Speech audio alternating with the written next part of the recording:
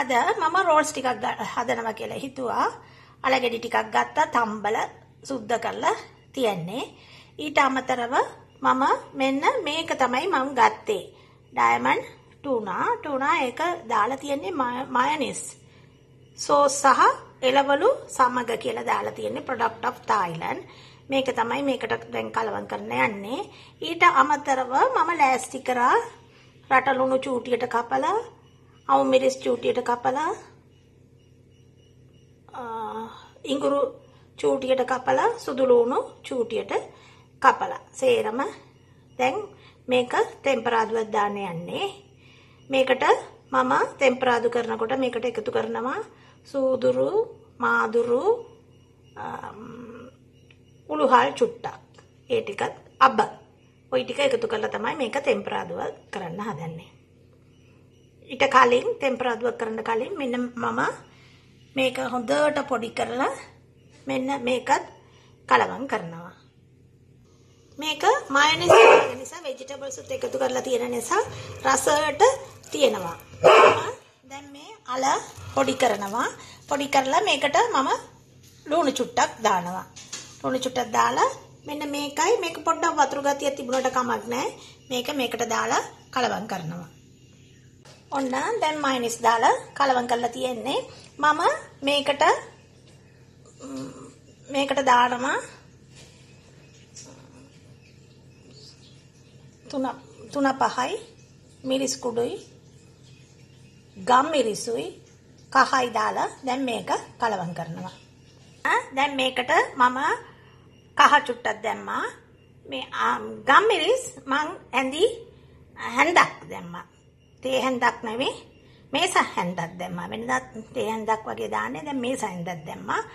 මේ රතු මිරිසුත් මිරිස් කුඩුවත් පොඩ්ඩක් වැඩියෙන් දැම්මා. මොකද මයිනස් කියන්නේ ඒක එච්චර සැර නැති නිසා පොඩ්ඩක් සැර වෙන්න ඕනේ. ඊට පස්සේ තුන පහක් දාලා දැන් මේක කලවම් කරනවා. මං තෙල් තාච්චිය ලිපේ තිබ්බා.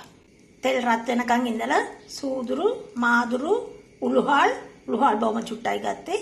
අබ මේ ටික මුලින් දානවා.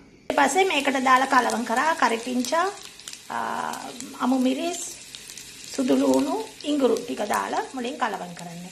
ඊට පස්සේ තමයි අපි අල දාන්නේ. අල කලවම් කරන්නේ. සූදුරු, මාදුරු, අබ, උළුහල් දැම්මෙන් පස්සේ ඊට පස්සේ කරපිංචා අමු මිරිස් ඉඟුරු සුදු ලුණු දාලා ඊට පස්සේ අන්තිම ඊට පස්සේ රට ලුණු පොඩියට කපාපු රට ලුණු ටික දාලා කලවම් කරනවා ඊට පස්සේ අල දාලා ඔන්න අල දාලා හොඳට කලවම් කරන්න මම දැන් ලුණු රස බලලා ලිප ඕෆ් කරා ඊට පස්සේ මම පාන් පිටි කෝපයක් ගත්තා ඒකට ලුණු සල්පයක් දාලා දැන් මේක ටිකක් තික් එකට මම වතුර චුට්ටක් දාලා අනනවා වතුර වල වතුරුත් එක්ක අනාපු එක මම මේම පෙරනවා. නැත්තත් මොකද වෙන්නේ? අර කැට කැට මේ හදනකොට හරියන්නේ නැහැ. ඉතින් මේක හොඳට මේකේ පෙරලා ගන්නවා. ඔන්න පෙරලා ගත්ත පිටි ටික. දැන් මේක පොඩ්ඩක් පැත්තක තිබ්බම මේක පොඩ්ඩක් තික් වෙනවා. දැන් ඊට පස්සේ මම තෝස හදන්න යන්නේ. තෝස හදන්න යන්නේ. මේ තැටිය ලිපේ තිබ්බා. මේකේ තෙල් ටිකක් දැම්මා.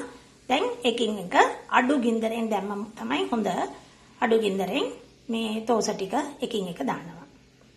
ඔන්න තාච්චියට වටේම තෙල් ටිකක් ගෑවා. මේ බලන්න මම මේක තෝසේ අනිත් පැත්තට දාලා තියෙන්නේ. හරි? දැන් අනිත් පැත්තට දාලා ඔන්න කරීස් ටික තිබ්බා. දැන් ඔතාගෙන යනවා. ටිකක් ලොකුවට ගත්තම ලේසි. ඉතින් මම ටිකක් ලොකුවට ගත්තා. බිත්තර එකක් මේ හොඳට ගහලා ගත්තා. ඊට අමතරව මම බ්‍රෙඩ් ක්‍රම්ස් බ්‍රෙඩ් ක්‍රම්ස් උත් ගත්තා. මදි වුණොත් තව ටිකක් දාලා ගන්නවා. දැනට මේක තවරන්න හදන්නේ. මේ ටික දැන් බෙදලා ගන්නයි හදන්නේ. මේකට මම තෙල් ගත්තා. තෙල් රත් වෙනකන් ඉඳලා එකින් එක දානවා. තෙල් ටිකක් බැහැන්න වගේ දාන්න ඕනේ. එතකොට තමයි හොඳයි. මම තෙල් වැහෙන්න දැම්මේ නැහැ හේතුව තෙල් ටිකක් ඉතුරු කරන්න බලන හින්දා වැහෙන්න දැම්මොත් තමයි ඉක්මනට ලස්සනට වැදලා එන්නේ. බලන්න හොඳට රත් වීගෙන ඉන්නේ. මේ මොකක්වත් කැඩිලවත් මොකක්වත් වෙලා නැහැ. මේක පොඩ්ඩක් වෙලාවක් තම්බන්නනේ මම අර භාගයට තෙල් දාපු නිසා පොඩ්ඩක් වැඩි ප්‍රමට තියාගන්න ඉන්න වෙයි.